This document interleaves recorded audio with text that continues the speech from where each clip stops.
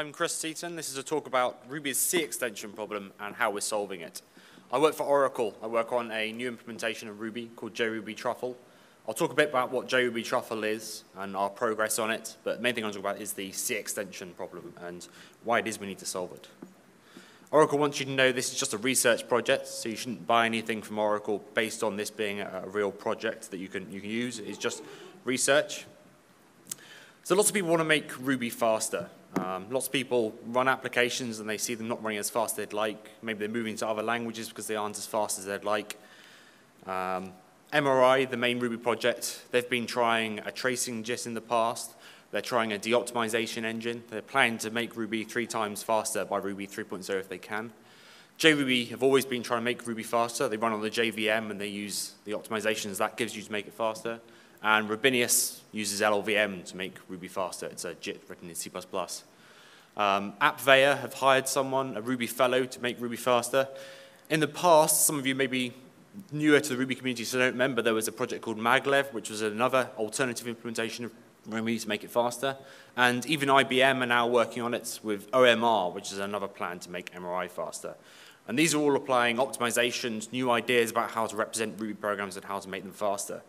But the, the traditional way to make Ruby faster that works today and people have been using for years is to use C extensions. The idea is that you have a Ruby program that's running on the Ruby interpreter, and you can write an extension to the Ruby interpreter in C. And you compile that with a C compiler like you normally would, and you get a, a binary library which you can plug into Ruby. And this extends the Ruby interpreter effectively and gives you new methods that are, they appear as if they were written in the core library. And you can use those from your Ruby program, and they're about as fast as methods written in the core library, um, which historically has been pretty good performance. It's been an effective way to increase the performance of Ruby. I'll give you an example of what that looks like. We have here a clamp routine, so it clamps a number between a minimum and a maximum. This is taken from some real code, a library called uh, psd.rb, for processing Photoshop files. Um, and this is slow, and it's slow because it does lots of things. It creates an array of minimum, the number, and the maximum. It sorts it, which creates another array, and then it indexes it to, take the middle one. And this is an effective way of getting a number clamped between two values, uh, but it's slow. So what PSD.RB provides is a C extension called PSD native. And in this one, they write it in C code instead. So this is a C function. It takes parameters and it, takes, it makes the, the self parameter explicit in C.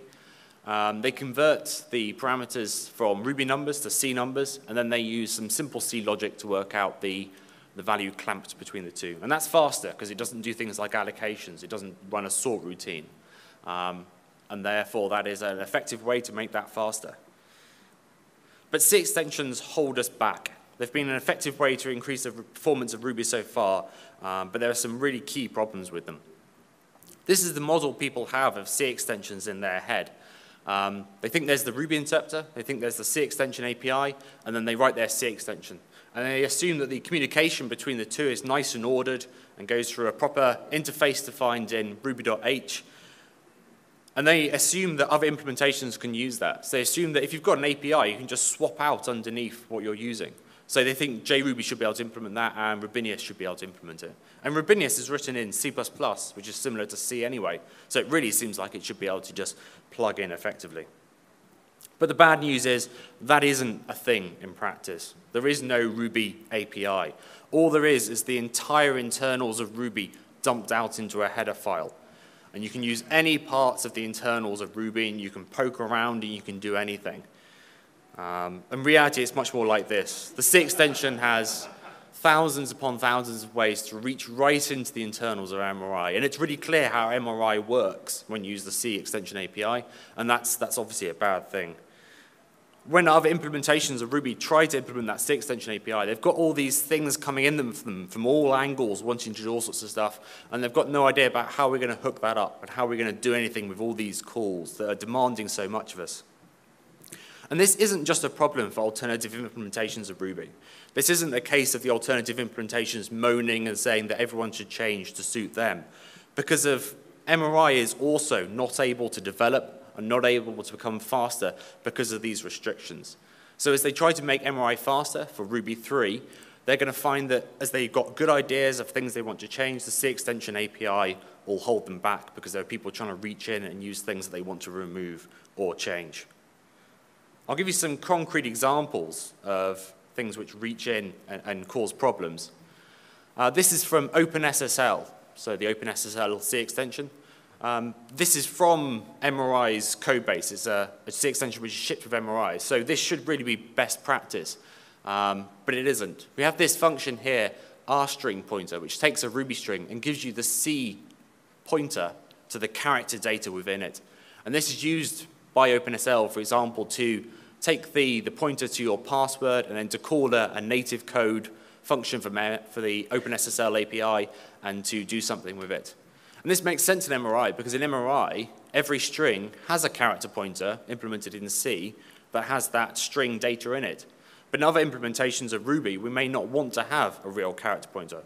Obviously, in JRuby, they have a Java byte array, which isn't the same thing as a character pointer at all.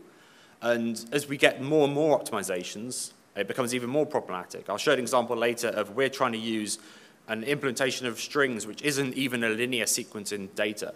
So trying to get that character pointer reaches right in and makes loads of assumptions about how the, the data structure is implemented. It's also done for arrays. So you can get the internal pointer to the, the values in an array. And the PSD extension uses this, for example. It gets the native array, which represents the pixels in an image, and then processes them. And this means that you're restricted to representing your Ruby arrays as a linear sequence of very heavyweight Ruby values for numbers. And we'd like to represent arrays of just normal numbers as simple, compact arrays of numbers, but we can't uh, if we implement this C extension API directly.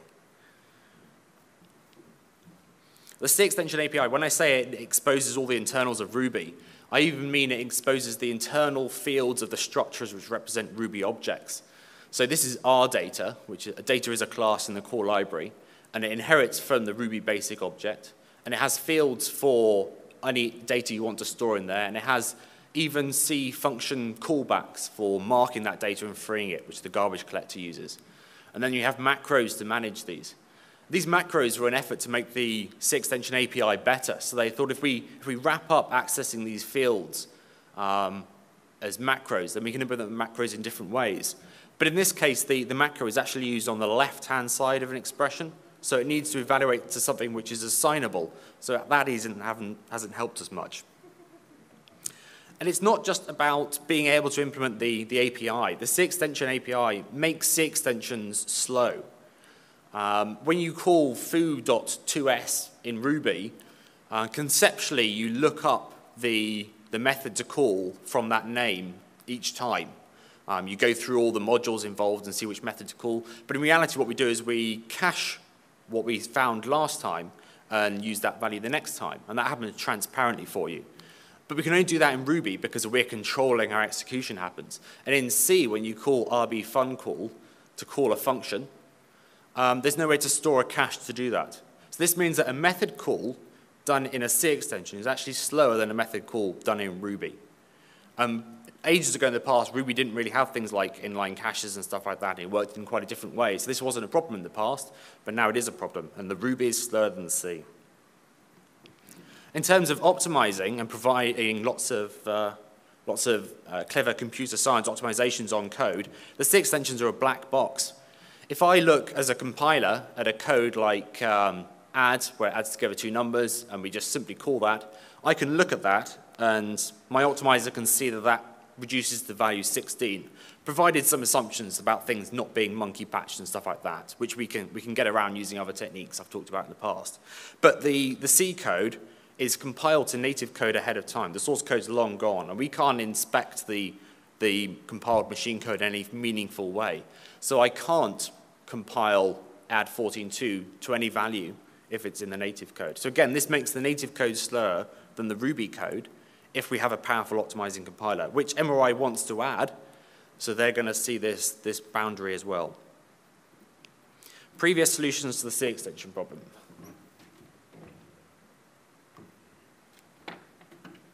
So people do know this is a problem, and they do want to solve it. Denial. This has been the first proposed solution to the C extension problem. So FFI and Fiddle are two libraries which allow you to call C functions directly from Ruby. So instead of writing C code, which calls them, you simply call them directly from Ruby. These are, these are effective ways to write C extensions. But the problem is there's, there's 2.1 billion lines of code inside the Ruby gem repositories, and half a billion of it is C extensions. It would be nice, perhaps, if people used FFI to write C extensions, but they don't. So there's little point arguing about it. If we want to run people's code today, we need to run C extensions. There's no point going up to them and telling them they're wrong when they should be writing it in FFI. Even the C extensions inside MRI don't use the FFI. So uh, there's no point arguing about it. This is what the FFI looks like. You can simply say, I'm using this library and I want this function and these are its types and it magically appears. So it is a great way to write C extensions, but if people aren't doing it, they aren't doing it. Bargaining we can attempt to implement the, the C extension API as best as possible alongside our optimizations. Uh, this generally involves a lot of copying. So if we have our string represented in a really clever way internally, when we want to expose that to the C extension, we could copy it all out to a big um, C array. But the problem with that is it's an un unbounded problem size. Your string could be gigabytes in size. And if each time you go to C and back again, you copy the whole thing, everything's just going to grind to a halt. JRuby used this approach in the past, and Rubinius still uses it today. JRuby, when I tried, only ran about 60% of the C extensions that I was interested in. Uh, Rubinius ran 90%, which was better. But the worst thing was, when they didn't work, there was no error telling me this is incompatible. They just ground to a halt, uh, you know, continuing to make progress, but at a really, really slow pace. Because as the copying, the things they decided they wanted to copy grew and grew, um, they, they didn't really work. And there was no clear failure point, they just didn't work. So that was a, a limitation. We can try to improve the C extension API from MRI over time. JavaScript, as in V8, and uh, Java C extensions API don't really have these problems because they've designed it with the, the knowledge of this problem ahead of time. So they have better designed APIs which don't expose internals. And there is steady progress towards doing this in MRI, and it has helped. But as I say, even OpenSSL doesn't use those better interfaces. So if MRI aren't going to do it themselves, we can't really tell anyone else to do it. So from the, the C extension documentation, it tells you don't touch pointers directly. Don't use RRA pointer, don't use RString pointer. And if people didn't, there wouldn't be so much of a problem. Depression. JRuby unfortunately had to give up on their C extension work. They had someone really clever work on it for quite a long time. Um, he managed to get it working, but as I said, it would have this problem, it would generally ground to a fault. Um, and in the end, they decided they unfortunately didn't have the resources to maintain it. Uh, the original developer moved on, and they decided to remove it entirely. Maybe it will return in the future, and they could try using the same approach as we are in JRuby Truffle. And acceptance. JRuby encouraged people to write Java extensions instead of C extensions, which is a technique which works fine. But as I said, if people aren't writing uh, FFI, then we can't make them write Java extensions either. We can also try to optimize Ruby while we're keeping the internals the same. So IBM's OMR adds a new GC and JIT to Ruby, to root MRI, while keeping support for C extensions. But the techniques they can use, therefore, are very limited. And the performance increases we can expect from that, therefore, are much more modest. Interlude, JRuby Truffle. So I'll give an introduction to our project and how it works. So there's already an implementation of Ruby which works on the JVM called JRuby. Um, but the JVM is a bit of a black box, which makes their work very difficult. When they want to optimize code, what they can do is they can pour bytecode into the top of the JVM. They can generate the best bytecode they can, but then they pour it into the top. And at some point within the JVM, there's a JIT compiler. And it's an excellent JIT compiler. But the route to it can sometimes be quite torturous, especially for the, the bytecode they emit from JRuby, which isn't the same as Java bytecode always. And often it fails to reach the JIT, or when it, fail, when it reaches the JIT, it doesn't quite do what they'd like with it. Our big idea at Oracle is to take the JIT outside the JVM, rewrite it in Java, and expose it as a Java library. And that means you can talk back and forth to it, and you can tell it much more precisely what you want to do. That's quite tricky to do, so we wrote a framework on top of that called Truffle, which helps you to write languages and talks to Graal on your behalf. We took code from MRI, we took code from JRuby, and we took some code from Rubinius, and we wrote a new implementation of Ruby based on JRuby using Truffle as an API that works on top of the, the Graal VM, which is simply the JVM combined with uh, the Graal compiler. We're part of the JRuby repository and part of the JRuby project, um, and we are part of their releases today. The way truffle works is if we take some expression like a plus b times c, we can express that as a tree. We heard the, the end of day keynote yesterday when he was talking about how he expressed um, code as an AST, which is a data structure like this. And what we do in Truffle is we can take that code, that AST, and we can compile it down to a single module that includes all the logic involved in executing that tree. Um, then we have a JIT compiler which takes it and turns it into a graph, which looks like this. This is an actual screenshot from compiling that code using our tool. Um, and then we can produce optimized machine code from this. Um, this machine code is some x86-64 machine code that multiplies two numbers together and then adds another number to it. And you notice we do optimizations here, such as Ruby has overflow that converts to a big num. Uh, we do that by handling that by jumping on overflow. So if the, if the multiplication overflows, we jump off and do something else. If the add overflows, we jump off and do something else. But in, if it doesn't, we simply keep this linear sequence of instructions. So this code is almost as good as you'd get from an AC compiler. The only extra thing you get from this is the, the JOs, and your processor is very clever and will actually do something called fusion of the JO with the add, so it's almost as if they're not there in terms of cycle counts. So from Ruby code, even though it has things like monkey patching and overflow, we can actually produce machine code that's almost as good as C. So going back to C extension, this is our radical solution for C extensions. The current model, as I said, is we've got Ruby that runs on a Ruby interpreter, but C extensions are compiled separately and then plugged into the Ruby interpreter. Our idea is simple. We're going to take the C code and we're going to interpret it using a C interpreter. We already have a Ruby interpreter. Let's write a C interpreter and then run it on top. And then when we want to make changes to the way Ruby works, we simply make changes to the way our C interpreter works to match it. It's slightly more complicated in reality. We don't want to have to deal with all the complexity of the preprocessor and type checking and stuff like that. So what we actually do is we take your C extension, we compile it using the LLVM C compiler, that's CClang, um, and that produces some, a intermediate representation. That's like a really simple version of C that we call IR, and then we interpret that. The other benefit of this is if you have other languages like Go, Rust, C++, Objective-C, as long as they can all compile to LLVM's intermediate representation, we can run that on top of the interpreter. So if we take a, a real C extension, such as this clamp example we had earlier, this compiles to IR, which looks like this. Now, it looks like that's really complex, but let me break it down for you. I'll zoom in on just the bit which does the logic. So it still looks complicated, but if I, if I write this as pseudocode in Ruby, you can see that this ICMP actually just does a compare. The branch just does like an if, and then it does go to. Ruby doesn't have go tos, obviously, but, assume they're there. Um, and then we have a compare less than, which is here. So really, we have a language which is very simple. We've already written an interpreter that works really well for the whole of Ruby.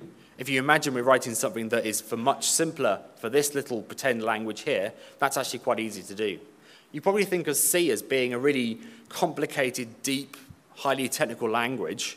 It's used for highly technical stuff because it relies on the machine architecture most of the time. But in terms of a language, it's really simple. It's much easier to write an interpreter for C, or LLVMIR, than it is for Ruby. And then the magic starts to be that we're optimizing these two languages using the same technology. We produce these trees of the programs for both Ruby code and C code, and when it gets to Truffle and Graal, our optimizing system, they don't care which language it came from. Even more than that, they don't know which language it came from. They simply ignore that. So we represent the Ruby code and the C code in the same way, so we can actually optimize them together. If you have a Ruby function that calls a C function in your C extension that calls back into Ruby, we can inline those together and optimize them together. And any barriers you have between them all disappear some interesting problems we found and their solutions. Um, because we're implementing the C extension API from scratch, we decided we could actually do most of it in Ruby. Um, I think Rubinius does this to a little extent, but we're doing it uh, for most of it. So if we have a, a C extension API function like fix2int, which takes a fixed num and turns it into a real C integer, um, we wrote the entry point, into, we wrote our C code that simply says invoke using truffle, and then we wrote a, an implementation of it in Ruby. So every time you call a simple little function in the C extension API, it goes back into Ruby. And this is where everything works out because if we can do whatever we like in Ruby, we can access, if we've written a clever way to access strings, we can simply reuse that clever way to access strings from our C extension code. So taking strings as a concrete example, as I said, if you take a pointer to a string, then you get a, a, a, pointer to it and you can index it and you can read the exact character. And by the time you get this character pointer, it's been forgotten that it came from a string. It's just raw C data. Um, we represent strings using a technique called ropes. There was a talk by Kevin Menard at uh, RubyKaigi. The idea is if you concatenate two strings, let's not copy anything. Let's just remember they were concatenated.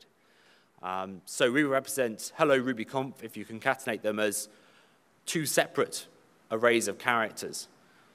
The LLVM IR to read this simply says get element pointer, and then we can implement get element pointer however we like because we're interpreting it. So we can say if it's a string, go back and call the actual string indexing routine. And that string indexing routine can go and walk through this data structure and find the particular character. So we solved the problem of um, being able to access the raw data by giving you the illusion of having the raw data. The C extension believes it has a character pointer to a string. What it really has is an object that says, this is the Ruby object, and this is where you want to index it, and it goes off and it reads that. Um, but there's no way of detecting you've got that in C, in your C extension code. You think you've just got a raw number but it's an illusion. You don't have a number. And the only way to do, realize the illusion actually would be to try and print the number out because there is no address, there is no number. Results. So this is from an earlier piece of work we did. We actually started off trying to do this C interpreter um, before we tried the LLVM approach. Um, so these results are slightly old. We haven't got quite to this stage yet with our new implementation using an LLVM. So this is the performance of benchmarks from Chunky PNG and uh, Oily PNG, the native version, and PSD.RB and PSD native, the native version. This is how fast the code is compared to the pure Ruby version. So there's a pure Ruby version of all this code and a C extension version. So MRI with the C extension gets you 10 times faster than running the Ruby code. And that's a successful result. C extensions were making things faster. When we run Rubinius with the C extension, it's only around four and a half times faster. And when we run JRuby with the C extension, it was even slower. Um, as I said, JRuby aren't using this approach anymore, so this is from JRuby 1.6, but this is still how Rubinius expects you to run C extension, and the performance is lower than MRI with the C extension, which isn't what Rubinius promises and what people use Rubinius for. When we run JRuby Truffle with the C extension, with our C interpreter, it's actually three times faster than running MRI with the C extension. So we're running the Ruby code and the C code in an interpreter with a JIT, of course, three times faster than the native code. And that sounds crazy. People think it can't possibly run faster than native code. It's because, as I said, you, it's a black box. MRI um, can't do anything to optimize access to that black box. And it's uncached when you make method calls, there aren't caches. So when we apply these techniques to C, we get much better performance. We wanted to pin down exactly where the real benefit was. So we tried turning off inlining from C to Ruby and back and forth. And that's the result you see here, which is only just faster than MRI with the C extension. So we found a lot of it was to do with uh, inlining between the two languages. If you take a hot loop, you can take the C code and the Ruby code and all together and optimize it. And this is from a, a paper we presented last year at Modularity a conference. There are some limitations, it's true you do need the source code of your C extension. I'm not sure this is a problem for anyone in reality. I'm not sure if there are any closed source C extensions anyone using. If there are, come and tell me about them. Um, C extensions in turn using a closed source library that itself doesn't use the C API, that's fine. So if you have some proprietary database and a driver for it, as long as you have the source code for the, the C extension part, that's fine. You can't store pointers to Ruby objects in native code. So if you're using a compiled library like libSSL, you can't give that compiled library reference to a Ruby object. And this is sometimes tricky because of you may have a callback that goes into Ruby and you want to store some data um, from Ruby in the native object. Um, but the Ruby object may not really exist. We may want to be able to move it in the GC. Um, so what we've written is this little API for turning an object into a native handle and back again. So if you want to store some data in SSL, you need to convert it to a native handle. This is what Rubinius and JRuby were sort of doing anyway, but they were doing it for all data. We're doing it just targeted in a little couple of places. This is a problem at the moment because if we don't want people to have to modify their C extensions. It's okay for OpenSSL because that ships with Ruby, um, but we, we want to solve this problem for other C extensions and we're still working on that. By the way, I criticize the FFI because nobody was using it, but it is probably still the best idea to write your C extension using the FFI if you can, because it has wide support across um, all implementations of Ruby, although we don't actually implement ES in JRuby Truffle. That'd be a great internship project if anyone's interested. If you do write a C extension for performance, I think it's a great idea to write a Ruby baseline version. This is what PSD and Chunky do. And that means that maybe the pure Ruby version will actually run fast enough anyway in JRuby Truffle or Ruby 3.0. Java extensions. I said in the past that um, the way that JRuby has solved the C extension problem is encouraging people to write Java extensions. Ironically, we have exactly the same problem as C extensions in that there is no well-defined JRuby API. It's just all their internals exposed. They created the same problem that they have themselves from C. Um, so we, we have trouble hooking up all those things, and we don't, uh, therefore, at the moment, support Java extensions. But we can do exactly the same thing. We can take your Java extension written for JRuby, we can compile it to Java bytecode, and then we could write a Java bytecode interpreter and provide the same kind of abstractions and illusions to make it work on JRuby Truffle. And this idea in general could be a direction for MRI as well.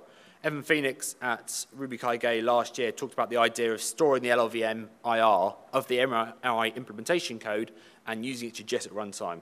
Um, that's a similar approach to what we're doing. That's it in my talk about C extensions, but a quick status update on JRuby Truffle in general. Uh, we're running classic research benchmarks around 10 to 20 times faster than MRI and around 10 times faster than JRuby.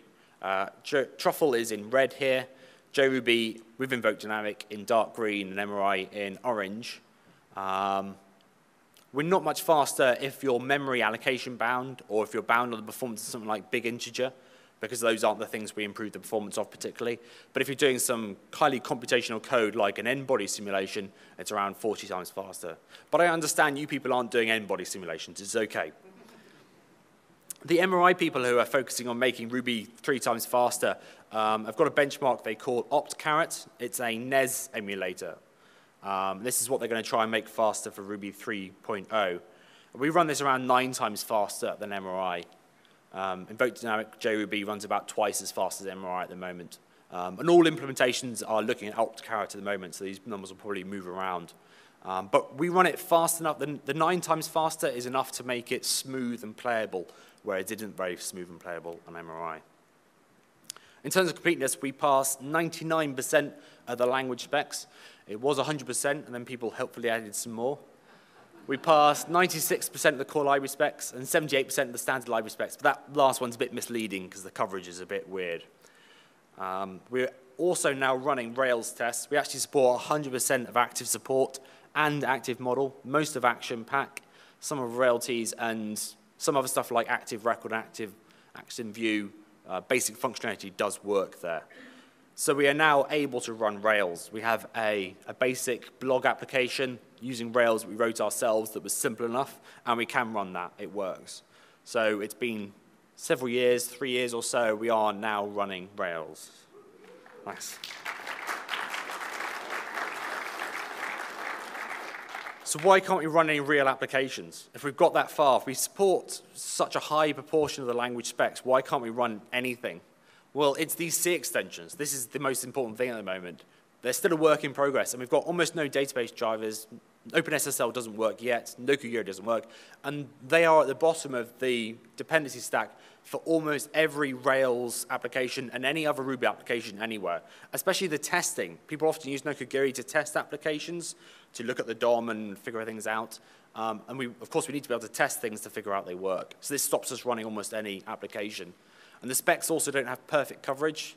We do very sophisticated optimizations, which means that you can't just test that array accessing works. You need to practice it works with an integer array and a double array and things like that. Um, so the specs don't help us there. Um, I mean, you also need to tune performance. There's lots more stuff there. Um, you can try this today. If you search for Graal OTN, or there's the full, full URL, you can download a, a binary tarball that includes absolutely everything you need. So it includes our modified JVM, includes the Graal compiler, includes JRuby. And you can try it out like that. If you search for GitHub GraalVM, you'll find all our code in one place. Um, this is the implementation of Ruby. That's just a fork of the JRuby repository. But then there's the implementation of our C extensions and the JIT compiler and everything you want in one place. And you can browse the code and see how it works. Want to find out more? Um, if you look at my website, I list all the papers and blog posts and articles we do there. Find us on Freenode JRuby or Gitter or tweet me. Um, if you forget everything else, just Google for JRuby Truffle and you'll find the relevant stuff. I should say there's a really large team behind this. We're actually the largest Ruby implementation team anywhere in the world, I think. And these people work on all sorts of projects, but uh, it's a few of the wider team, and that's everyone who's ever been involved. The main people working on Ruby are myself, Kevin Menard, Peter Chalupa, Benoit Daloze, uh, Brandon Fish, and the people working on the C extensions are Manuel Rigger and Matthias Grimmer. So I'm, this is all their work as well as being mine. Thanks very much.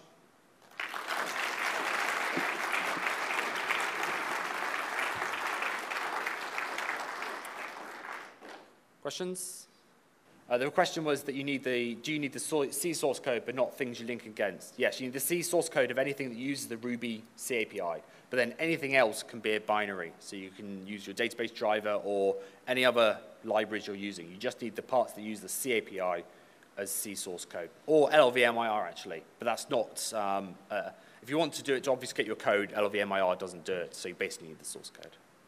Yeah, the questions were, is there any locking going on? Because the C doesn't, the C code normally doesn't do locking. No, we're not doing any locking. We're following the, the Rubinius and JRuby approaches to threading, which is that you need to lock data structures and objects you use yourself, and anything else is uncontrolled. We are doing novel research into a, a formal memory model for Ruby, which um, Peter is working on, has talked about at a couple of conferences. So we're trying to work out what the rules should be, agree them across Ruby implementations. Um, but at the moment, it's Wild West world. There's no real rules to follow. So as long as stuff works, we're happy. Yeah, the question is, when you use native code, of course, you have to actually do that copying to pass it in and out. And real libraries mostly, real C extensions mostly use native libraries, so do we have to do that a lot? Yes, and we're not sure how big a problem that is. So the, as you said, the PSD and um, chunky stuff, that's well contained, and that's the best case for us. Um, we're working on OpenSSL at the moment, and it seems to be effective enough there. So all I can say at the moment is I'm hopeful for other gems we won't have to do too much copying um, to pass it out to native code. You can, of course, if you want to, if you find it's a problem, get the source code for everything and run it all in the C interpreter. The C interpreter is a, full conformant implementation of C, so it should be able to run everything. With OpenSSL, I decided for things like timing attacks and installation complexity, it was probably best to use the native library. But yes, it, we are unsure if it's going to work perfectly for lots of libraries. It's a research project, and that's why we're, we're exploring what, what we can do. Yeah, so the, the question was, were the results I showed on warmed up code? Yes, they're on thoroughly warmed up code. Um, we use the JIT compiler, so it does need time to warm up and to compile everything. Um, Truffle is about as fast as Ruby 1.8 when it starts. Um, probably a bit slower now. Um, and then it gets much faster after it's running. It, it's a trade-off. We're deliberately making this trade-off that if we spend more time at startup getting things optimized, then stuff runs faster later. Um, but we have a solution for the, the fast startup case where you need that. We're working on ahead of time compiled binary of JRuby Truffle that a, it doesn't use a JVM. It's simply a big executable and that starts really fast because all the code is already compiled. Um, and then it warms up the same way the normal one does. But that's not open source at the moment. Um, but we have to do some sort of trade-off. In order to cut through Ruby and to get the performance we want, something has to give somewhere. So we trade off a little bit of memory, a little bit startup time, and we get the result we want running after a longer period of time. Uh, how much memory? It's hard to quantify because until we can run a real application, we, we don't know. So we can look at the baseline and say it takes four times as much memory as JRuby to run Hello World or something like that. I've got the numbers, I can't remember what they are exactly off the top of my head. Um, but I'd be lying if I told you I knew exactly what the, the memory consumption would be. It's probably unlikely to work well on a 500 megabyte dyno, that's true. Um, but the idea is if you run Yeah, the, the, idea is if you run one big instance which can handle lots of clients and can share optimized code between them, we think that'll be a better trade-off than running lots of MRIs on smaller dynos. Okay, thanks very much.